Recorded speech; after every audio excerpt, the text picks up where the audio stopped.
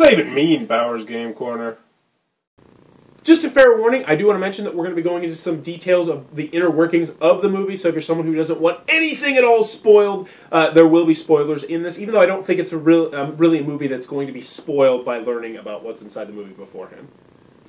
Ahoy there, YouTube! I'm back again today for something a little bit different. We're going to be doing a movie review of the next great American game from Douglas Morse and Grandfather Films. This was on Kickstarter in 2013. It was successfully funded, like massively successfully funded. They asked for like 5,000, they got 21,000, and it follows one man's tale as he tries to get his game from uh, prototype to a reality. And along the way, he talks to all sorts of game designers and game players and everybody, a bunch of big hitters in the industry. And I brought my lovely wife into this game review, or into this movie review, sorry, because I feel like it gives two unique perspectives. Like me, you know, I know a lot of the behind the scenes stuff. I've talked to a lot of the people that were were in this, and that was really cool. But you, I mean, you, I mean, you knew the companies and some of the stuff, but you were.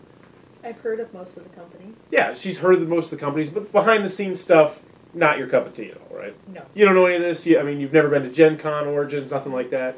So we wanted to get two differing opinions on the movie. Um, so just initial thoughts. What'd you think about the movie? I actually really enjoyed the movie. Okay, what'd you like about it? It was just interesting to see the pro the process, like from an outside perspective. Like Yeah. you said, I know absolutely nothing about it. Yeah, so so in case we'll fill in some of the blanks here. He starts off, and it's a really nice looking prototype. Like the prototype Oh, is yeah. really really nice. The game itself, though, I mean, it looks at the beginning of the movie, it looks like something that, and they put said this in the movie very well. Looks like a 1980s game. Mm-hmm. It really did. It had roll and move mechanics. It had lose a turn, which is. ugh. Uh, but but I personally, the theme itself i- interested me. The turnpike, probably not you so much. I really enjoy driving, and my wife will tell you when I'm when I'm driving, it is a game for me. I like to merge. I like to piss people off sometimes. I like to do all that. So the game itself sounded like a cool concept to me. But the film delves into a lot of other things as well, because um, he has bipolar disorder, and, and and the film goes pretty deep into that. And you start off at the beginning, I'd say like the first third of the film. It's all about game design, game design. Hey, I'm at Gen Con, and he's just brand new, and he's beaming, and he has knows nothing about any of what he's about to get his head into, and it's fun to watch too. And and it's a little bit disheartening. Like there's a couple parts in the movie where it's like he really just gets the the David or Douglas, sorry, really just gets like the oh man, maybe my game's like you know what I'm saying? He Like gets really down about it. yeah, at certain points because it's just constant, just No, no, no. just beating him down. And some people, more than other, uh, particularly the guy from Minion Games, and you know, this isn't a bad thing what he did. You know, he just really just like this is a 1980s game. Get your time machine, go back, and and you know, he put it in a very blunt way, which you know. And it, was interesting to watch, as because half the movie seems like it's struggling with bipolar disorder, and you get a glimpse into that, and then the other half is about the game design.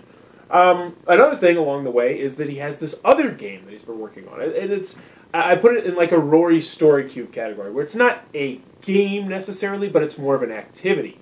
And, and I gotta say, when I first saw that part, I was like, "Wow, that look!" I work with with children that that have lost loved ones, and I was like, "That looks fantastic. That looks perfect." But you had a little bit of part a complaint about this part of the movie. What? what it's at the beginning. It's all about what what it's called Turnpike.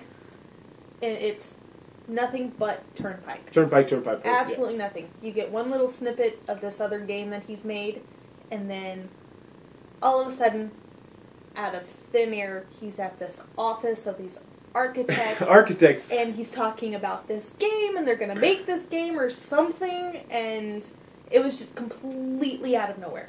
It was. It was. Totally. It was a little bit out. It was, it was kind of like a left turn. It, the same thing goes with the bipolar disorder too. I thought like when they got to the part about the pills and whatnot, it was just like we're, we're on the straight path, and it's like woo, just takes a weird turn with that. And it's same with with them being at an architecture office talking about this game. Uh, so the game did definitely have some odd quirk, or the, the movie. I'm so used to reviewing games. It had some odd quirks here and there. I do feel like uh, there was one particular point where like he's talking to the guy from Game Salute, and they like lingered on this shot for like 20 seconds longer than they could have, and it's just like this conversation between this guy and the guy from Game Salute about his pregnant wife or something. And it had nothing to do with the movie. Um, but but I've held off my opinion. Do you like the movie? I really enjoyed this movie, and, and I think if you're big into the hobby, I think you will as well. I think it's just a really cool peek behind the curtains of stuff that you don't get to see. I mean, at the end they showed like the speed dating event at Gen Con where he's like just showing off stuff. He got a lot of sit downs with people in the industry, and it was really cool. Um, he taught, and that's one thing I really enjoyed about this movie as a gamer's perspective is was seeing all the different companies and the games that I know, their games, and their perspectives on it. Like Smirk and Dagger was like, "Hey, we could use some more attacking here," and Hasbro was like, "There's just too much going on. It's a little bit too complex." Uh, the guy from Hasbro. And, and, and, I like that an awful lot. So overall, would you recommend the movie as just as a, a casual game player? Yeah. Oh yeah, absolutely. Likewise, I really enjoyed this movie. I, I thought it was it was really cool. Is it a movie that I'm going to go out and watch immediately again? No, but I could definitely see watching with my son when he gets a little bit older, or showing it to some of my other gaming buddies and be like, "Hey, check this out! I think you might get a kick out of it." Uh, I thought it was an interesting look behind the curtains of creating a game and bipolar disorder, which is just that's a weird combination to mix up. Uh, it, the one thing that did bug me was a little bit, it was a little bit short. I thought I wish it would have just stretched it out just a little bit more. It, it's brisk at 80 minutes. It doesn't overstay its welcome by any means, but I wish it was just a little bit longer. Like if there's just a little bit more, or is that just me? Uh, I think that might just be you. Okay, maybe it's just it me. Perfect. Um, but yeah, overall, I enjoyed it. My wife enjoyed it. That's the next great American game from Douglas, Douglas Morse uh, from Grandfather Films. Oh, we, we didn't even begin, begin to talk about. That's one last thing I want to mention that I really liked about this movie is that he starts off just gung ho. I am not changing my game and then like it just the world kind of beats him down and beats him down, and then he starts taking people's advice and he rethemes the game and he does this and he does that, and I like that an awful lot. And I think any amateur game designer, that's somebody. I think if you're an amateur Yeah. game designer, you should absolutely watch this movie because he eventually takes these people's advice, and I would imagine you know he's making the game better. If the guy from Yellow is actually you know a big big company is actually taking that into consideration. I think that that was really cool. But overall, definitely a movie that you should check out if you're into hobby games, which if you're watching this video, you probably are. That's the next great American game from Douglas, Douglas Morse and from Grandfather Films. If you enjoyed this review, please be sure to click on the subscribe button down below. And in the comments below, let me know, do you want me to review more content like this, more board game movies and stuff? Because I know there's quite a few documentaries out there about the topic, and I personally enjoy watching them. So let me know in the comments below if this kind of stuff interests you. I will also post a Kickstarter link below down so you can check out the project yourself if you want to go purchase that. Uh, but as always, thanks for your time, YouTube. What, what, what, am I supposed to do with my hands? Just What?